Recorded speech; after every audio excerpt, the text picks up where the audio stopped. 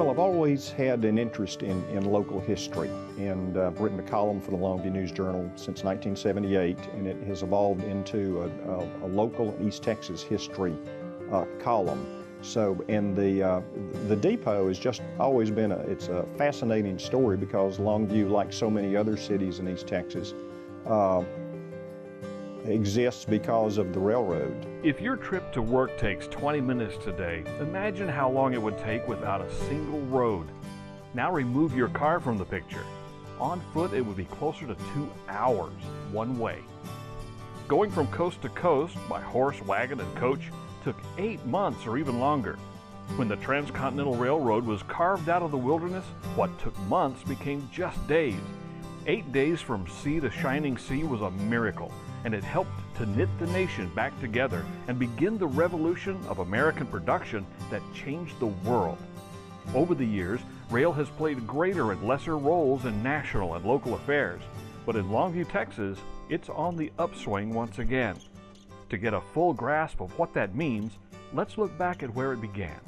This current depot has been a rail passenger station since 1871. Amtrak told us that the uh, train station was the, the city's living room to the world, and that's true.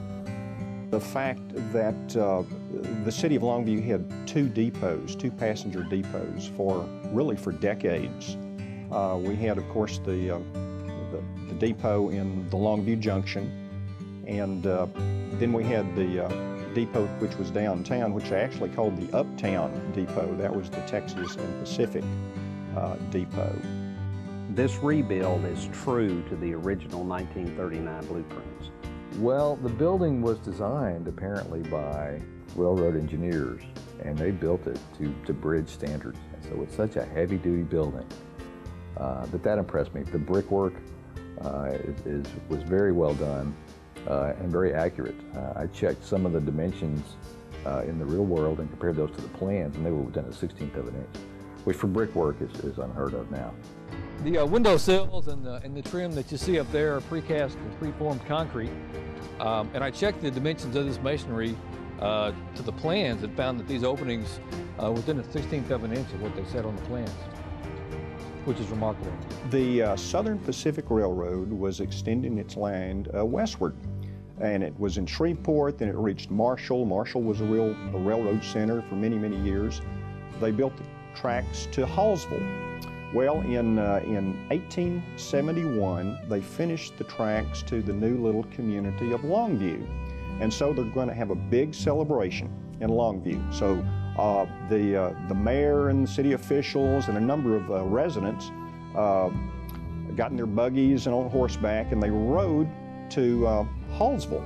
And they got on the little train and uh, there was a speech and uh, you know great hoopla about uh, the first train rolling into Longview. So they, they started the little train down the track and it got about two miles and it jumped the track. Everybody had to get off the train while they put the little engine back on the track. They got it back on, everybody climbed back on, they got a couple of more miles, the train jumped the track again. Well, one of the folks who was on the train was Oliver Pegues, who was a, a pioneer businessman. Pegues, great Longview name. And uh, he noticed the second time that they had, had uh, stopped in front of uh, Farmer Green's uh, place. And so uh, Mr. Pegues got off the train, walked over to uh, Mr. Green. He was home, asked if he could borrow a horse. So he borrowed Mr. Green's horse and rode into Longview and got there hours before the train ever arrived. And in his memoirs, uh, Mr. Pegues uh, remembered that uh, the, the round trip from uh, Hallsville to Longview and then back to Hallsville took a total of two days. I have done some historical renovations before. It's, uh, I'm kind of interested in uh, architectural forensics and, and how, how things were built and, and how those things change over time. And this is my first train station. Many years ago, a, uh, a retiring railroad official gave me an old clock out of this building. And uh, it looks like a 1950s school clock probably. And I took it just, uh, in fact, uh, when I retire, I plan on taking it home with me. And we looked up the serial number on that clock, and it is the original 1939 waiting room clock. And I'm going to donate it back to the restoration. So on opening day, this same clock that hung in that same position on the day this depot opened in 1940 will be back in place, and it still works like a charm.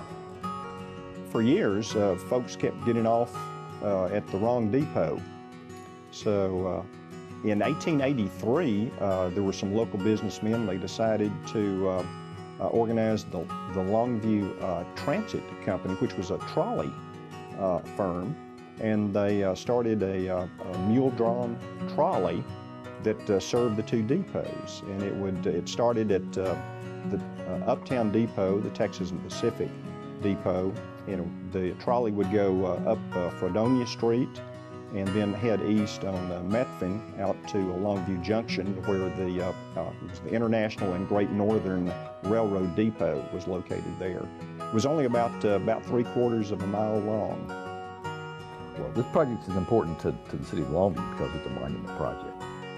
You know, uh, one of the historical footnotes, important historical footnotes to this building, you can see where they've been filled, but you have four holes representing rectangles in these waiting rooms.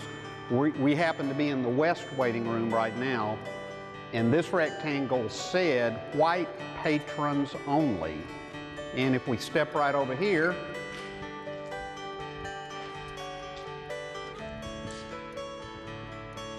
Uh, not all of these holes have been filled yet, and if you'll you'll see you'll see where they were. Uh, these holes have not yet been filled, but this rectangle, a matching sign, and it said colored patrons only. Even later than that, into very early adolescence, I, coming from a railroad family, even though I was born and reared in Texarkana, um, I can remember uh, indelibly, indelibly the reason that we have two large waiting rooms in that station is because one of them said colored patrons only and the other sign said white patrons only. And I can remember seeing, th- those are not anecdotal to me, I can remember seeing those signs. And I guess in the restoration, um, what I've appreciated the most is Yes, we've restored the, his, the historic old T&P depot, but what we've done is make it into a 21st century multimodal rail bus transit facility. You might get sick of me hearing those terms, but, but that's what we've done here. And now, you know what? We're in the 21st century. It doesn't matter if you're black, white, straight, gay, it doesn't matter. This is a regional transportation hub for all uh, of the citizens of the region. And, uh, you know, in 1939, that probably was not its original intent. Wow, what a great day for the city of Longview, restoring our historical train depot. The, his, the history of the depot is so significant and it's so rich to our community. But history does not stop here today. We are moving forward in the city of Longview. The depot stands paramount as we revitalize this area and as we create perhaps one of the first regional transportation hubs in East Texas. So this is a great time. It has been in the past and we are continuing to blaze the trails. Just sit back, relax, and wait on the other stories that will follow in years to come. As mayor, seeing this project move forward has been deeply rewarding. Now, let's see where it goes from here.